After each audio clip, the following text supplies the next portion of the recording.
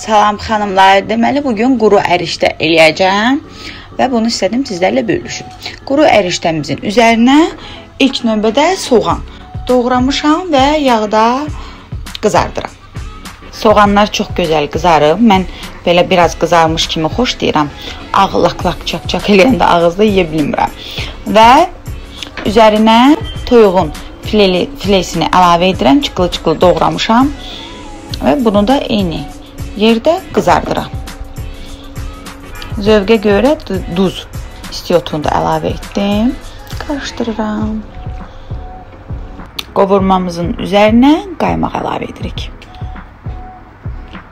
Və 3-4 dəqiqədə qaymağımızla birlikdə bişiririk. Yəni kim isə soğanı, soğanını bu qədər qızartmaya bilər.